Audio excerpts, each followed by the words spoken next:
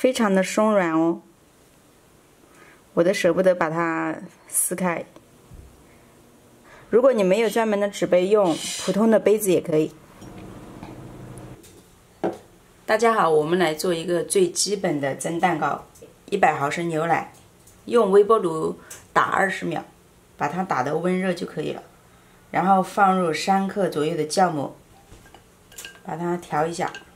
温热的牛奶对于这个酵母的活化有帮助。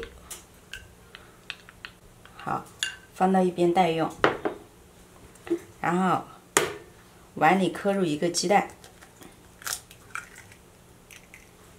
加入三到五十克白糖，这个糖的多少自己调控，三十克到五十克都可以。然后用打蛋器把它打发，再放入一勺色拉油，五克左右，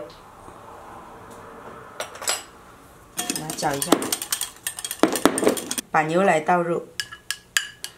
把和有酵母的牛奶倒入，然后充分搅搅拌一下，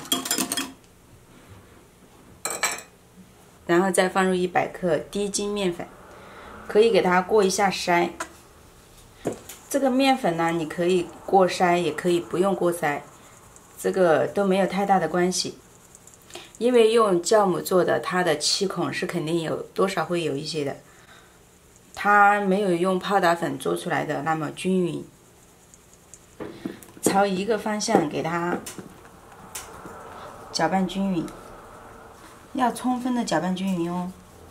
这样多多搅拌几次，看它里面还有没有面粉的颗粒。是喜欢柠檬味的，你还可以给它放放两滴柠檬汁儿。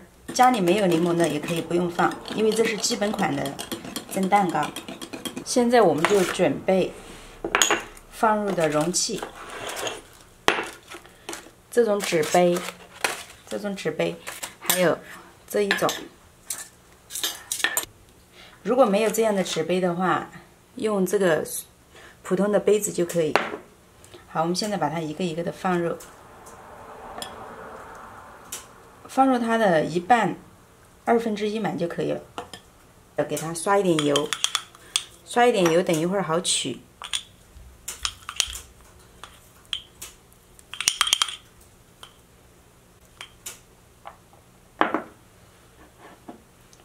然后也给它放一半满，放入一半，一半满。先把它放到锅里面，然后掺入杯子一半的水。好。用中火加热二十秒以后，就把火关掉，以它不烫，手可以放下去不烫为止。如果烫的话，就很容易把酵母烫死哦。然后盖上盖子，等它发酵，发酵二十分钟左右，我们再蒸。发酵了二十分钟以后，大概就发酵的差不多了。这个还是要看大家的具体情况，你自己观察。有的有的可能十几分钟就发好了，有的可能要三十分钟才发好。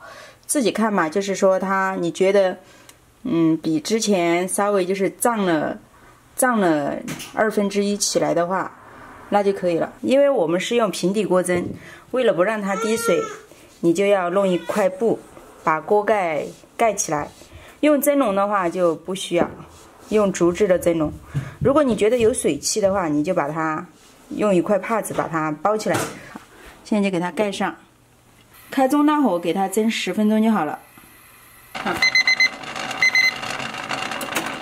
时间到了以后，我们就给它关火，关火，然后还是让它焖个几分钟，等它热气散一下，不然的话它会回缩的。不要太着急的好，就是最好是等个三五分钟再开盖子吧。现在把它拿起来，最后取的时候。用一个不粘的筷子也可以把它取出来，就就是这样的。揭开盖子的时候要尽量让它水蒸气散尽了以后才揭开盖子，而且要注意那个水滴不要滴到它上面了，水滴滴到上面就会成这个样子。它中间的这个层次是相当好的。所以说家里面没有不需要特定的这种纸杯都可以。好今天的分享就到这里谢谢大家。